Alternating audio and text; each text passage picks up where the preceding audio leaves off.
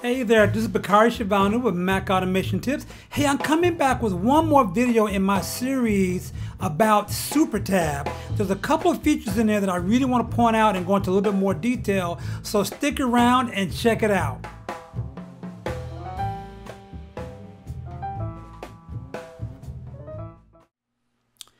Okay, so here we are back into um, SuperTab, and if you kind of, um, you know, if you watched my previous videos on SuperTab, and this is my series, is about uh, four of them or five of them, and you can go into well, this is the fifth one actually. So it's it's four of them. So this is the fifth one, and and I go in and talk about you know how to set up SuperTab and set up the preferences, and I go over all the kind of main features of SuperTab and go reading the detail and um, in, in, part four. But in part four, I kind of talked about um, a feature you know called the screenshot feature, and this is let me pull this up here.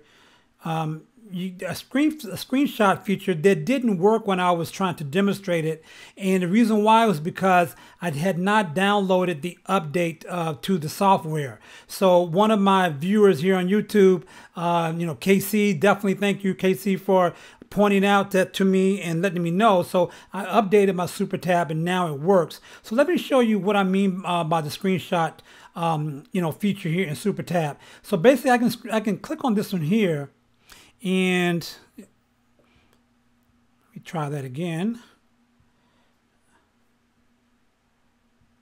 There you go. So basically I click on this one here and basically what it does is gives me all the options for taking a screenshot.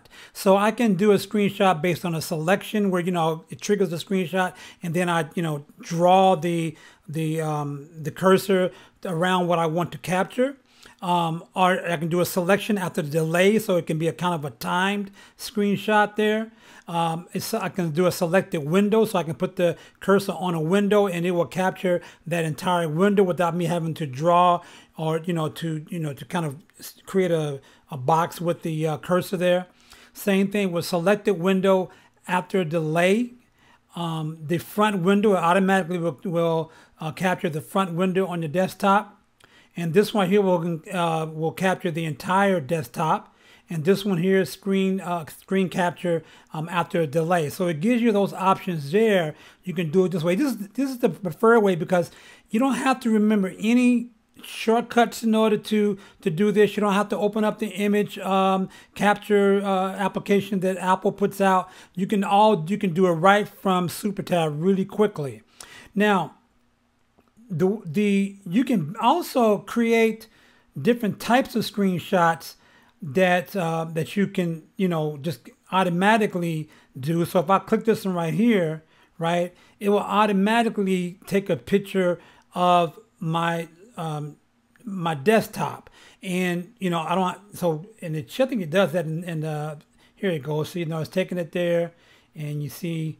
Um, let me see. It takes a little second here. So it saves it to the desktop here and you see it open up just like that. Okay. So that's how that's done. So let me show you now how that's how all these are put together. So basically, I'm just going to go in here and configure it. Well, let me start from scratch. So basically, you're going to go from here. You're going to click on the uh, button here, the plus button.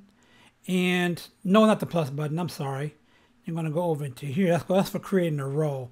For creating an item, you're going to add an item here. And go add an item. And then you're going to click on screenshot configuration right here. And then basically you have a lot of options here that you can do. Uh, so basically you can choose if you want if you wanted to ask you what, like I just showed you, if you wanted to ask you which type of shot you want to make, then you'll choose that one. Or you say, I want to have just a regular screenshot, like, you know, if you're doing the, I think, Command Shift 4, right? So you just want a regular screenshot and you want it, you can select what type of format you want it in, JPEG, PNG, TIFF, what have you. And you can um, also have it where if you wanted to automatically hide any kind of desktop icons there, if you want it copied to the to the clipboard, I usually don't do that. You might, you might want to save it to directly to your desktop um, if you want to have it automatically placed into an, uh, uh, a new email, if you wanted to open up in preview or some other um, image organization or some other organization, I'm sorry, some other application that accepts images, right?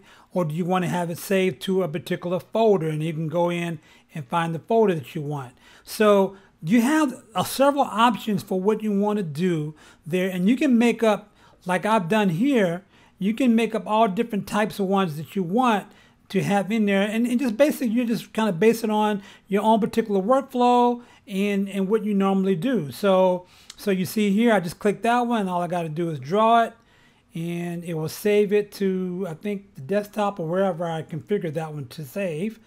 Uh, let me see. Let's go back here. I don't think I even, did I configure that to anything? Let me see. Okay, so I just had that. That one's just the default. So I had that configured to the, the, the clipboard, which you know, it doesn't do me too much good for that. So I'm going to change it here to save it to the desktop here. All right. And so the only thing missing on it is it doesn't have kind of an annotation tool. It doesn't open up in its own application. So if you wanted to do some annotating on the screenshot, you can definitely have it open up in preview. So you just set your preferences for how you want that um, to happen. Okay, so that was I just really wanted to kind of go into detail because I think that's a, just a really good feature to have, particularly if you are the kind of person who takes a lot of screenshots. Um, you know, like I do. I take several of them. I have also, you know, another application called ScreenFloat, which is uh, which is right here, which I, I use that mostly. I use that the most for you know taking screenshots because basically what that does it gives me this kind of um, let me see. I just opened the browser up here. Let me try it again. So ScreenFloat. Um, oh, I see what it is. So basically, this is how this is how it works. So um, let me do it real quickly. So there you go. So I bring it up here and I can, I can, take a screenshot and you notice that when I, after I do the screenshot, it stays open on my desktop. So that's the reason why I use ScreenFloat the most. But for me, you know, like having this um, this this options here, particularly for entire screenshots, you know, like I want to take whole screenshots or time team uh, screenshots.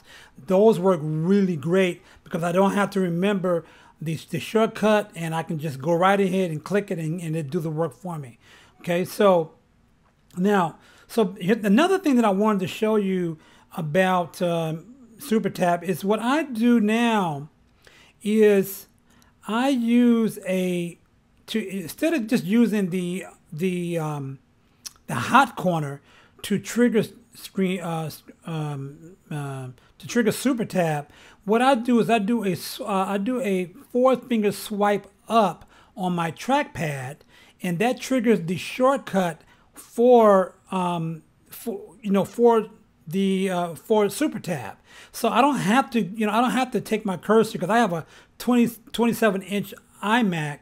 And so I don't always want to drag my cursor all the way to that to that hot corner.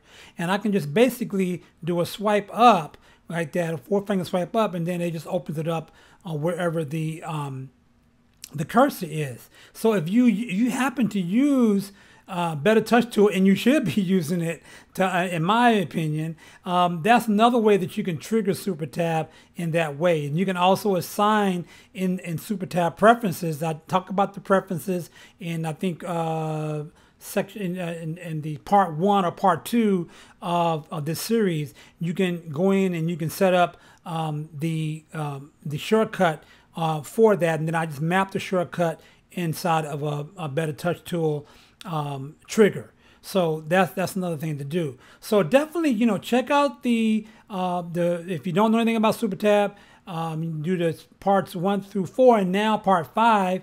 And then also, if you're if you haven't downloaded or paid for SuperTab, you will get you can get sixty percent off just by using going to this particular page here. I'll, I'll put the link um, in the show notes below, um, in the comment section below, or what have you, and um, you can you can definitely get it for just eight bucks. I mean, it's really a modest fee there. And you see, he gets a little quote from me because I wrote about SuperTab way back when I was um, writing for MakeUseOf.com.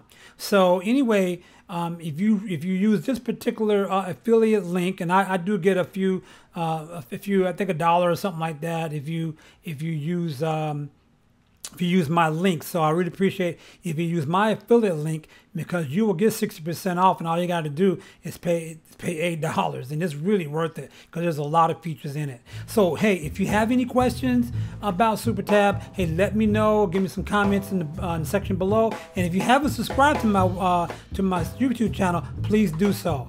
I will see you again next time. Take care.